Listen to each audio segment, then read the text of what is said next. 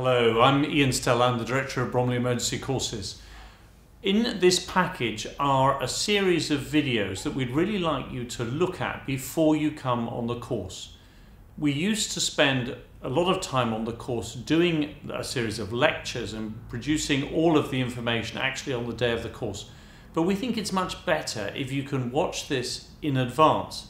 That means that we have even more time for scanning on the day of the course. We will do a short lecture before each of the modules but we'd prefer it if you'd watch all of them before you actually come.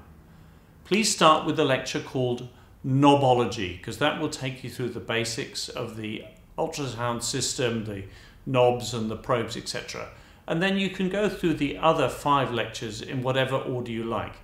Please also make sure that you've looked at the physics of ultrasound in some way, either through our ultrasound physics module or through some other source.